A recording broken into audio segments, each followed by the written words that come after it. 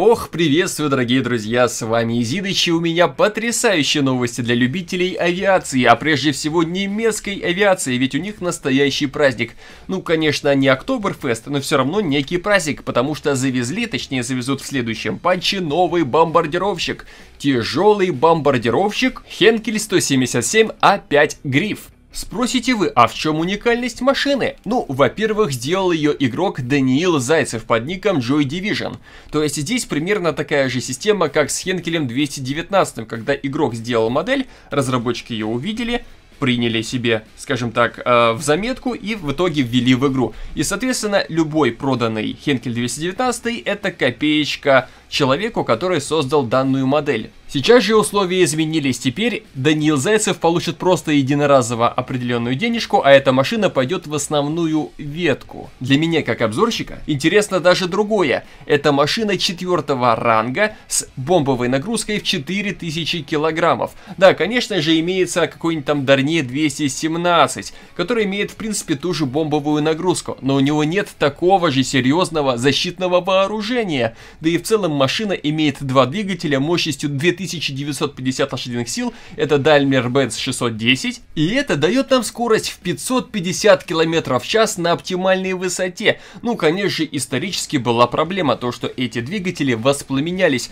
но как сами разработчики написали у себя на сайте, на эту проблему они решили закрыть глаза, и в игре ее не будет. Вот вам и историчность, класс-класс. Но на самом деле этому факту я рад, иначе у нас бы половина техники в игре постоянно была ломалась, что-то с ней происходило. Ну кому это надо, согласитесь? На сайте, кстати, не уточняется, какое именно вооружение в каком количестве имелось на данном самолете, а также про гриф не сказано по поводу подробной бомбовой нагрузки. Я сейчас этот момент проясню. Вооружение следующее. 1,7,9 мм пулемет находится в носу, пушки МГ-151-20 в передней части нижней гондолы и в хвостовой установке с 300 снарядами на ствол. 2 7,9 мм пулемета находятся э, в задней части гондолы, два 13 мм пулемета МГ-131 в дистанционно управляемой башне за кабиной и один в задней башне с электроприводом с 750 патронами на ствол. В бомбоотсеке, кстати, находится либо 50-килограммовые бомбы, либо 250-килограммовые, 500-килограммовые.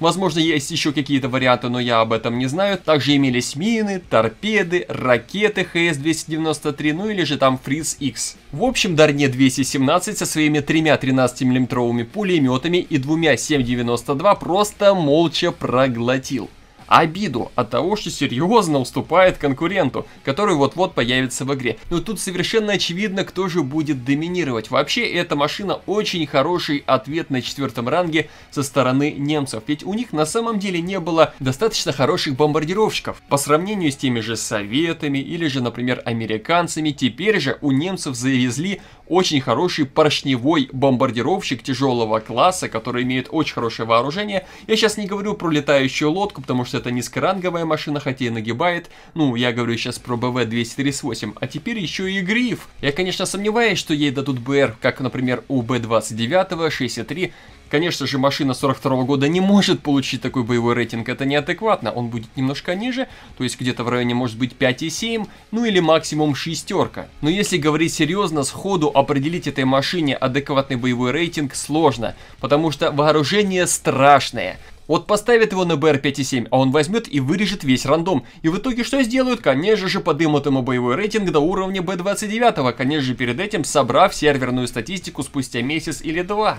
Кто ж его знает? Но думаю до уровня B29 это точно не вариант, потому что даже по сравнению с B17 есть один немаловажный минус. Всего лишь два двигателя, а не четыре, то есть поджигают один и машина начинает жестко кренить. И еще не факт, что она на одном двигателе куда-то еще сможет дальше продолжать лететь. Напомню, что мощность одного двигателя Daimler-Benz 610 2950 лошадиных сил, при том, что масса пустого самолета 16 тонн, а вот нормальная взлетная уже 27 тонн, поэтому потеря одного двигателя очень даже критична. На самом деле я планировал несколько иное видео, если бы не эта спонтанная новость. Сегодня я вас просто ставлю в известность о данном событии, поэтому не поленитесь, не поскупитесь, поставьте палец вверх, поддержите данное видео. А по моей ссылочке в описании под видео, если уж у вас есть такая любовь к донату, всегда получите скидку в 3% на любые другие товары. В общем, друзья, всего самого лучшего, постараюсь и дальше оперативно реагировать на все события и новинки,